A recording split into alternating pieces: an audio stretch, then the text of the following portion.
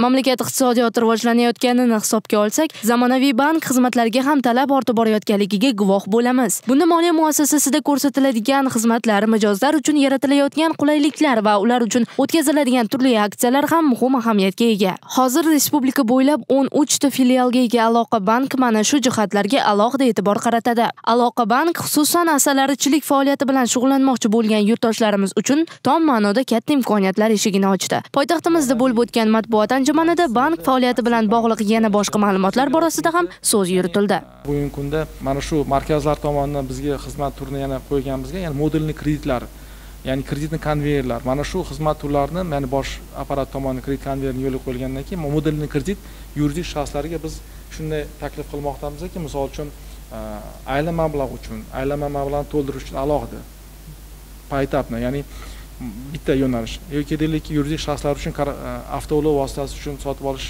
ehtiyoji bor bo'lsa bu yo'nalish. Qurilish bo'yicha alohida. Ya'ni alohida alohida produktlar bilan biz kirib boryapmiz. Ma'lumotlarga ko'ra sentyabr oktyabr oylarida respublika bo'ylab o'ttiz oltita yangi bank xizmatlari markazi ishga tushirilib ularda yangi xizmat turlari ham joriy qilindi.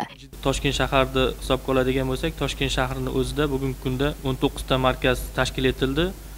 Biz yunusobod tumani chilonzor tumani aholi soni ko'pligini inobatga olib u tumanlarda ikkitadan markaz tashkil qilingan. Ehtiyojdan kelib chiqib biz yunusobod tumanida uch yil oldin markaz ochib xizmat faoliyatini boshlagandan keyin biz bildikki yunusobod tumani aholi ko'pligi uchun bitta markaz emas yana bitta markaz ochish ehtiyoji tug'ildi. Eslatib o'tamiz hozirda bankning kredit qo'yilmasi besh butun o'ndan olti trillion so'mni tashkil etsa uning to'rt butun o'ndan olti trillion so'mi korporativ mablag'lar hissasiga to'g'ri keladi.